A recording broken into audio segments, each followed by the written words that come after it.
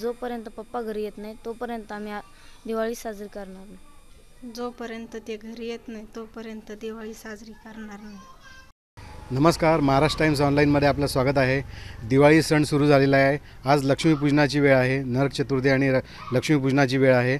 आज आपण आलेलो आहे आंतरवाली सराटी गावामध्ये जे की गाव मनोज जरांगे तिथे राहतात. आज आपण त्यांच्या घरी आलेलो आहे.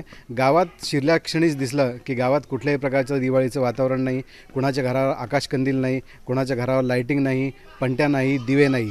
आपण यांच्या घरी येऊन आल्यानंतर ही पण माहिती पडली की या गावात कोणीच फराळ केला नाही कोणीच सण साजरा करत नाही कोणीच दिवाळी साजरी करत नाही. आज आपण या ठिकाणी त्यांच्या घरी आलेल्या काही नातेवाईकांना गावकऱ्यांना बोलूया की आज काय दिवाळीचं वातावरण आहे त्यांच्या गावात? दादा काय वातावरण आहे आपलं? दिवाळी तर काहीच नाही. प्रत्येकाने ठरवलं आहे. जोपर्यंत मराठाला आरक्षण भेटत नाही तोपर्यंत दिवाळी साजरी करणार नाही. कारण जो माणूस एक एक माणूस आपल्या समाजासाठी एवढं लढतो आहे त्याच्यामुळे कुठल्याही घरात कोणी काही केलेलं नाही आहे म्हणजे दिवाळी साजरी केलेली नाही आहे पूर्ण साधा साधा स्वयंपाक घरी केलेला आहे. बाकी काही नाही. मनोज जरांगे यांचा मुलगा शिवराज पण आपल्यासोबत आहे. आपण त्याला पण विचारूया. शिवराज आज कसं वातावरण आहे तुमच्या घरचं? गावातलं वातावरण कसं आहे? गावातलं वातावरण असं आहे की सर्वांनी ठरवलं की आज दिवाळी सण साजरा नाही करायचा कारण समाजाला अजून आरक्षण भेटलं नाही आणि आम्ही घरी पप्पा घरी नसल्यामुळे आणि मराठा समाजाला आत्तापर्यंत आरक्षण भेटलं नाही. या कारणास्तव कुणीही दिवाळीचा सण साजरा करत नाही. पल्लवी तुला कसं वाटतं बेटा? पप्पा घरी नाही आहेत. काय आरक्षणाची हे असेल? आणि तुझ्या काय भावना असतील? दिवाळी साजरी नाही होते गावात. जोपर्यंत मराठ्यांना आरक्षण मिळत नाही तोपर्यंत आमच्या गावातही आणि आमच्या घरी कुणीही दिवाळी साजरी करणार नाही आणि जोपर्यंत पप्पा घरी येत नाही तोपर्यंत आम्ही दिवाळी साजरी करणार नाही. ताई तुम्ही ह्याच गावातल्या आहात. हो. काय तुमच्या तुमच्या घरी कसं वातावरण आहे? असंच नॉर्मलच जसं रेग्युलर रोज असतं तसंच आहे. कोणीच दिवाळी साजरी कोणी एका मुलांनी लहान लेकरांनी सुद्धा फटाके पण कोणीच नाही वाजवत पोरं सुद्धा छोटे छोटे मुलं पण. या दिवाळी सणात दिवाळी महिला सण- सगळ्यात पुढे असतात. हो पुढे असतात. सगळ्यांच्या घरी अं, सध्या वास सुरू असतो फराळाचा पुरणाचा स्वयंपाक असतो आज.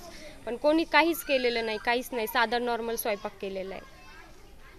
मावशी तुम्ही काय केलं आज? काहीच नाही. भाजी भाकरी केल्यात आम्ही. हा. आणि आम्हाला त्याच्याशी आता करायचं बी काय नाही. जेव्हा आमच्या घरी येते तेव्हाच आम्हाला करायची स साजरी दिवाळी ताई तुम्ही शेजारी आहात. तुम तुम्ही काय केलं? आम्ही काहीच नाही केलं. शेजारी आहेत पण आम्ही काही केलं नाही. आणि ते घरी येऊस तर साहेब घरी येऊस तर आम्ही काही करणार पण नाही. ताई तुम्ही? आम्ही पण साधा स्वयंपाक केलेला आहे. आमचे दादा जोपर्यंत येत नाहीत घरी तोपर्यंत आम्ही दिवाळी साजरी करणार नाही. ज्यावेळेस आमचे दादा घरी येतील त्यावेळेस आम्ही मोठा सण साजरा करणार आहे दिवाळीचा. आपल्यासोबत मनोज जरांगे यांच्या पत्नी पण आहेत. आपण त्यांना विचारूया त्यांच्या काय भावना आहेत? ताई काय सांगणार तुम्ही? जोपर्यंत ते घरी येत नाही तोपर्यंत दिवाळी साजरी करणार नाही. काय वाटतं तुम्हाला? त्यांची तब्येत कशी आहे? तुमचं बोलणं झालं का त्यांच्याशी? बोलणं फोनवरून नाही झालं. मी त्यांना भेटायला गेलते. त्याच वेळेस त्यांना भेटून आले. तब्येत त्यावेळेस त्यांना उठून बसता येत नव्हतं. तेवढं मी पाहिलं होतं तिथं. आता ते दवाखान्यातून आज सुट्टी होईल त्यांना. आणि परत एकदा ते दौरा काढणार आहेत. परत पूर्ण मराठा समाजाला एक नवीन संजीवनी मिळणार आहे. काय वाटतं तुम्हाला? ते परत दौरा काढणार आहे पण सरकारने आता या येईन या चोवीस तारखेला आरक्षण दिलं पाहिजे. मराठा आरक्षणासाठी मनोज जरांगे उपोषणाला बसले. त्यानंतर मुख्यमंत्र्यांच्या मुख्यमंत्र्यांनी येऊन त्यांचं उपोषण सोडलं. त्यानंतर परत मंत सरकारच्या शिष्टमंडळाने येऊन दोन महिन्याचा अवधी घेतला. आता त्या दरम्यान उपोषण सोडल्यानंतर उपचार घेत आहेत मनोज जरांगे. आणि उपचार आता आज त्यांची सुट्टी होईल आणि ते परत एकदा पुन्हा दौऱ्याला निघणार आहे. दरम्यान दिवाळी तोंडावर आलेली आहे. दिवाळीचा आजचा महत्त्वाचा सण आहे. मनोज जरांगे घरी नाही आहेत.